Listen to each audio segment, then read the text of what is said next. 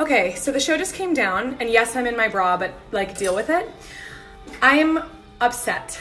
Um, my friend Barrett Weed just posted uh, something really similar the other night to an experience she had in her Broadway show, Mean Girls.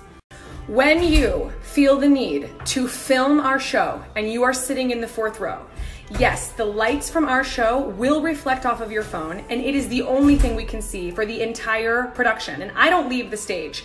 So I'm sitting there thinking about every single thing that I'm doing that's about to end up on a vlog, a Broadway chat room, Tumblr, Twitter, all of the different pages where the bootlegs go.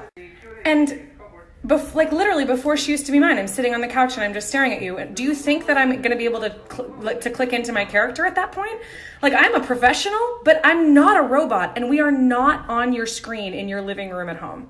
So, this has been a PSA. I'm so sorry about the attitude, but stop bootlegging. Put your phone away and be present for the show that you probably paid a lot of money for. And then allow the other people in the room, the people that are on the stage, to also be present so that they can do not only their job, but also focus on the whole entire reason why you're there. So, this has been my PSA. Thank you for watching. Stop bootlegging. And I don't appreciate the person in the fourth row who hopefully will have seen this. okay, sorry. Rant over. Lesson be learned. I'm doing a Broadway.com vlog, and this PSA will be also on that vlog. So, for those of you that are watching and see it again, I'll probably polish it up just a little bit and try to take out the attitude.